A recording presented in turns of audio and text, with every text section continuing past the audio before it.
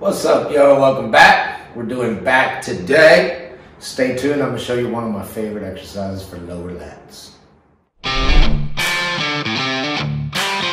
Okay, so one of my favorite exercises targets lower lats is a double dumbbell row.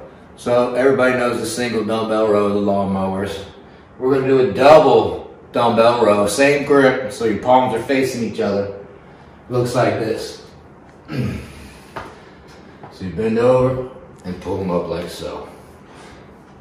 Roll them like so. This one hits different than a barbell, gentlemen, ladies and gentlemen. It hits way different than a barbell. I can feel my lower lats a lot more than when I'm rowing a barbell, right?